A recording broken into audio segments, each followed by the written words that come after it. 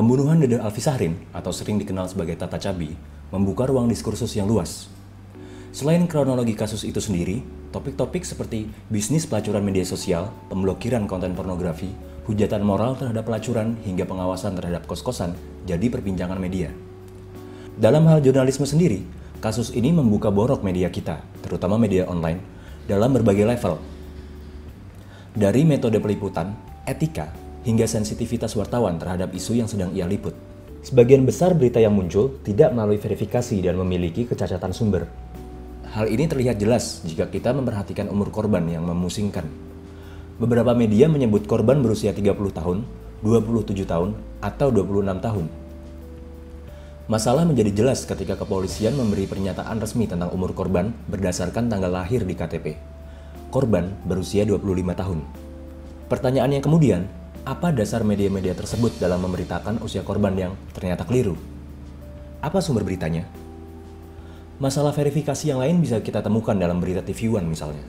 Dalam tayangan Apa Kabar Indonesia Malam bertajuk Transaksi Mesum Berujung Maut. TV One membingkai korban sebagai pelaku prostitusi online. Ya, ini masih diselidiki oleh pihak kepolisian apa yang menjadi penyebab uh, tewasnya Dede atau mungkin bisa kita tahu sendiri ada akun Twitternya yang juga menjadi kontroversi karena melakukan transaksi jual diri melalui sosial media. Kita akan lihat seperti apa kasusnya.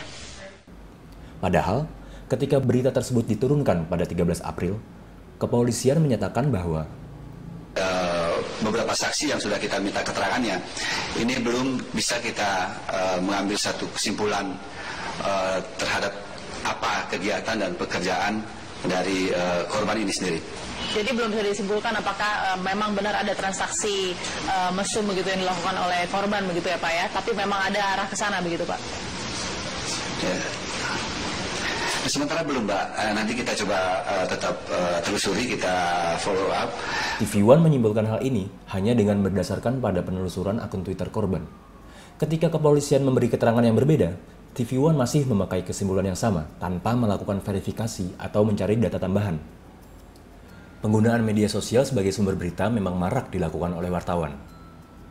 Hal serupa juga dilakukan dalam pemberitaan Jawa Pos tentang komentar pengguna jasa korban media sosial memang sah untuk dijadikan sumber berita. Namun, menjadi bermasalah apabila akun tertentu dalam media sosial dijadikan sumber tanpa melakukan verifikasi atasnya. Tidak ada yang menjamin bahwa akun tersebut adalah benar akun milik pribadi seseorang yang benar-benar dikelola secara pribadi, atau apakah pribadi di balik akun tersebut punya kredibilitas atas hal yang ia tulis. Verifikasi dengan demikian adalah suatu kewajiban. Tanpa verifikasi, jurnalisme hanya menjadi desas-desus rumor, gosip. Pemberitaan tentang pembunuhan ini juga memiliki masalah invasi privasi yang serius. Pemberitaan-pemberitaannya bisa mengganggu proses pemulihan trauma bagi keluarga korban. Hal ini terbukti ketika Tribun News menurunkan berita tentang keluarga korban yang memohon kepada media untuk tidak mengekspos profesi korban. Anggota keluarga mengaku hal ini membuat mereka malu dan takut keluar rumah. Ironisnya, satu jam kemudian, Tribun News malah mengunggah berita yang menampilkan alamat anak Tata Cabi dengan detail. Selain tidak ada kepentingan publik yang dipenuhi oleh berita tersebut, tindakan tersebut justru memperparah kekhawatiran keluarga korban. Pelanggaran hak privasi tidak hanya terjadi pada keluarga korban, melainkan juga terhadap keluarga pelaku. Identitas istri pelaku, dari nama, tempat berkuliah, hingga kehamilannya, ikut terekspos. Lagi, pemberitaan ini tidak relevan, baik bagi perkembangan kasus maupun bagi publik. Kasus ini memang telah menjadi sensasi media online. Hal ini dibentuk salah satunya dengan memakai judul berita yang bombastis. Identitas korban kerap kali diimbuhi predikat janda cantik. Predikat yang menandai bias gender dalam pemberitaan. Sensasi ini pun dikatrol dengan penampilan foto-foto korban yang diambil dari akun media sosialnya untuk menegaskan predikat cantik dalam judul tersebut. Praktek mengeksploitasi kecantikan dalam jurnalisme online ini merupakan wabah yang mengkhawatirkan Berbagai macam berita turun hanya karena predikat cantik. Kecantikan seseorang telah menjadi nilai berita, apa pun konteksnya. Kecantikan tubuh perempuan menjadi objek yang rajin dieksploitasi dalam jurnalisme online. Dari berbagai aspek yang bisa dikupas, media lebih banyak mengangkat problem prostitusi. Problem ini pun dibingkai sebagai dampak dari gaya hidup serta lemahnya moralitas dan agama. Maka tak heran apabila jalan keluar yang ditawarkan adalah pendidikan karakter dan pelarangan. Pelarangan ini bisa berupa pemblokiran situs pornografi, perda pelarangan prostitusi online, serta pengawasan terhadap teknologi. Wakil Gubernur Jarod Saiful juga mengagendakan pengawasan terhadap penghuni kos-kosan. Wacana yang mengemuka dalam kasus ini merupakan cerita lama.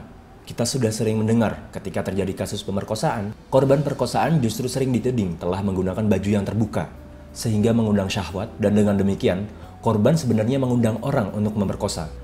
Korban, alih-alih dilindungi, malah didakwa bersalah. Logika yang serupa juga digunakan dalam melihat kasus Dede. Dede, yang sebenarnya jadi korban di sini, alih-alih dilindungi justru dipersalahkan. Statusnya sebagai pekerja seks komersial terus dihubung-hubungkan dengan pembunuhan terhadap dirinya. Seolah-olah ia dibunuh karena ia adalah pekerja seks komersial. Seolah-olah membunuh seorang PSK, seperti memerkosa perempuan dengan pakaian yang terbuka, adalah masuk akal.